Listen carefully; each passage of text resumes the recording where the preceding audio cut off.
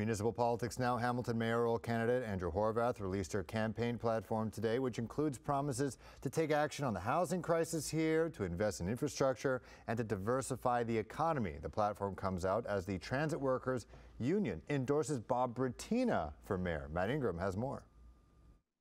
She's calling it her action plan for a thriving Hamilton. It's not just from me.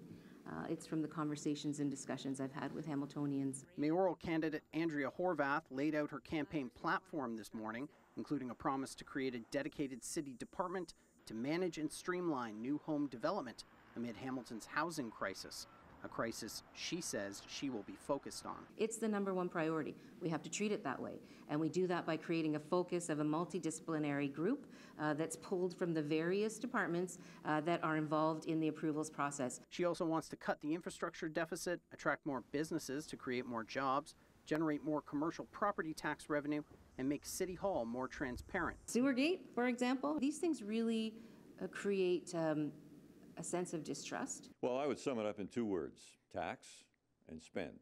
Fellow mayoral candidate Bob Bratina thinks the plan is short on ideas to generate revenue. Frankly, there's more missing in that document than what's there. Today, Hamilton's Transit Workers Union endorsed Bratina for mayor, who has said he wants the maintenance and operation of the city's soon to be built LRT to be done entirely by HSR workers, citing concerns about the private public partnership model used for Ottawa's LRT. The experience in Ottawa has been a disaster. I'm happy to have LiUNA's support and congratulations to Bob. Mayoral candidate Keanin Loomis expects he, Bratina, and Horwath will all have more endorsements roll out over the campaign.